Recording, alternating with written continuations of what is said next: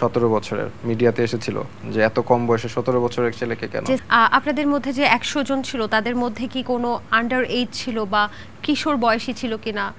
ওই যে একটা আপনারা তো একজন চিনেন সতেরো বছর যে ছেলেটাকে নিয়ে না হয়েছিল একটা ছেলেকে সতেরো বছরের। মিডিয়াতে এসেছিল যে এত কম বয়সে সতেরো বছরের ছেলেকে কেন? যে সাকিব আল হাসানের টি শার্ট পরেছিল যে ভাইরাল হলো আমি সেটা এক্স্যাক্টলি জানি না বিকজ আমি তো তখন ঘুম ছিলাম বাট।